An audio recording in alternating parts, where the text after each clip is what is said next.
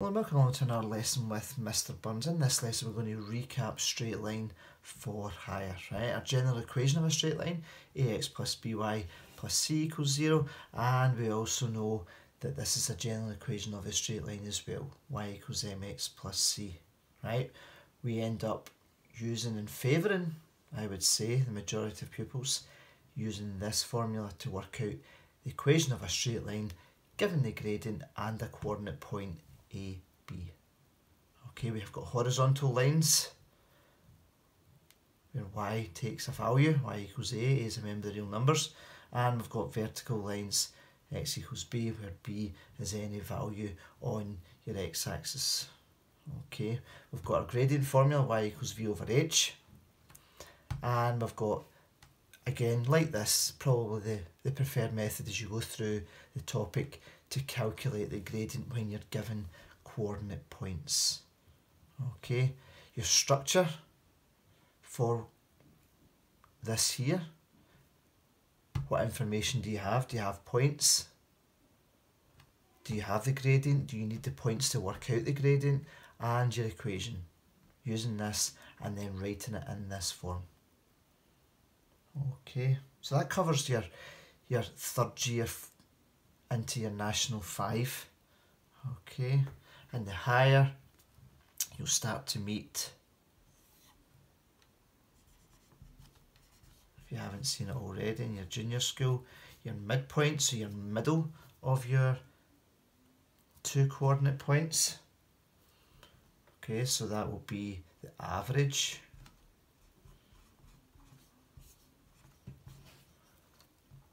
the average of the x values and the average of your y values. Okay, you'll also meet, again if you haven't met already, in your third year, your distance formula.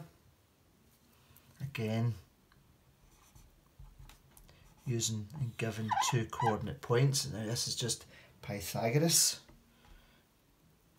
Now you may wish, okay, because you've got all these different x1s and x2s and y1s and y2s, okay, you may wish to have this distance formula written in the same major gradient formula, so it's the difference in your x values squared plus the difference in your y values squared. Okay, so just take a minute to look at these three formulas okay. You can probably understand that these can start to get mixed up. You know that. You do that so well at national 5 midpoint middle okay. Averaging the points out. And then your distance formula okay becomes another formula you would have to learn.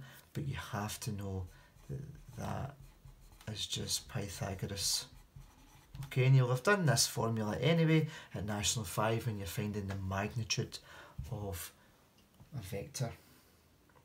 Okay.